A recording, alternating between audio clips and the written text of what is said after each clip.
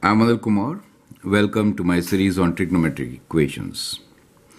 Here is a very interesting equation to solve. We need to solve square root of 3 minus 1 times cos x plus square root of 3, let me make this plus 1, times sin x equals to 2.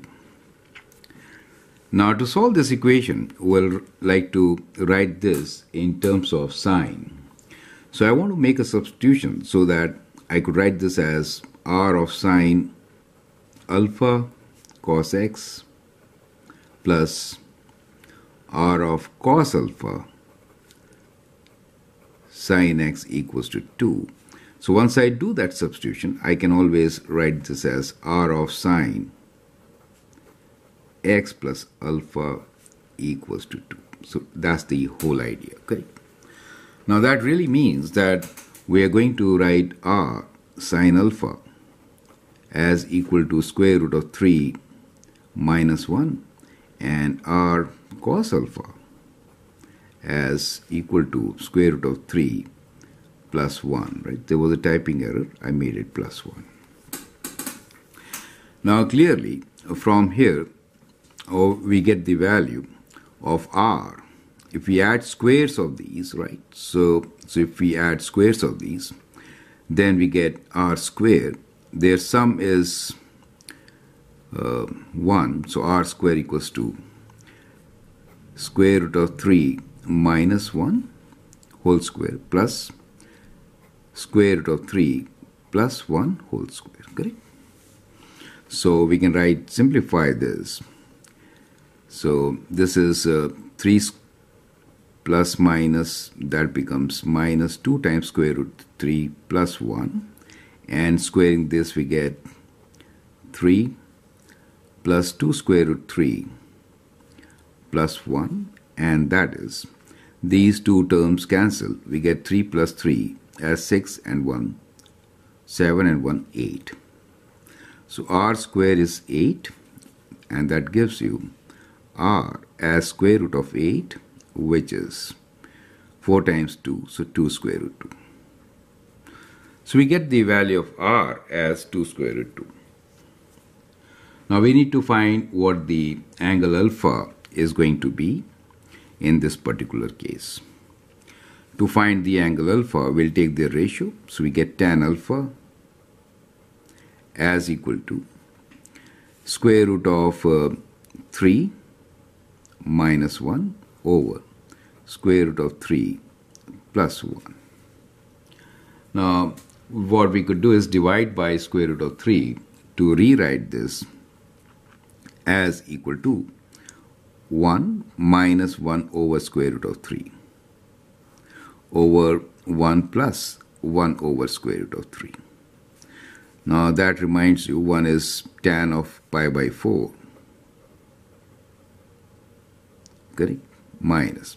1 over square root 3 you can use your special triangles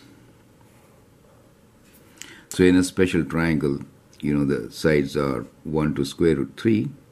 We are talking about 1 over square root 3. So we'll look into this angle, which is pi by 6. Correct? So we get tan of pi by 6 over 1 plus. You could write this as product of tan pi by 4 and tan pi by 6 just to complete the formula, right? Right. So this could be written as tan of a minus p which is pi by 4 minus pi by 6. Okay? So pi by 4 minus pi by 6 is, let's complete this, taking 12 as your common denominator, 3 pi minus 2 pi, so we get pi over 12. So we know angle alpha is basically pi by 12. Is that clear to you? So there's a lot of uh, work which we have to do in this substitution. So that coefficient makes it slightly more complicated. Perfect. But anyway, we got the value of r, we got the value of alpha. So we could write this as r is 2 square root 2. So we get 2 square root 2 sine of x plus alpha which is pi by 12 equals to 2. Now dividing we get sine of x plus pi by 12 as equal to 2 over 2 square root 2 which is 1 over square root 2. Now as far as sine is concerned it is positive in quadrant 1 and also in quadrant 2 right? So so those are the two angles which we are looking into. So we can now say that x plus pi by 12 is equal to this angle pi by 4 and also this angle 3 pi by 4 right? So those are the two solutions for us. So accordingly we get x as equal to pi by 4 minus pi by 2 12 or we also get x equals to pi by 4 um, 3 pi by 4 minus pi by 12 correct? So the first one gives us taking 12 as the common denominator 3 minus 1 is 2 pi by 12 or so 3 minus 1 is 2 2 pi by 12 or pi by 6 correct in this case we get x equals to uh, 9 minus 1 is 8 so we get 8 pi by 12 3 times 3 is 9, right? Taking 12 as common denominator, 9 minus 1 is 8.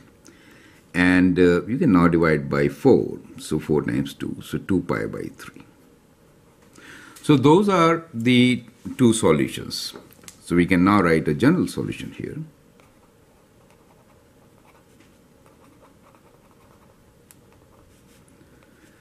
So general solution will be x equals to, since it's a periodic function, 2n pi plus pi by 6. The other one is 2n pi plus 2 pi by 3. You see, that is how we are going to solve this particular question. So I hope that makes sense. Feel free to write your comment, share your views, and if you like and subscribe to my videos, that'd be great. Thanks for your time and all the best.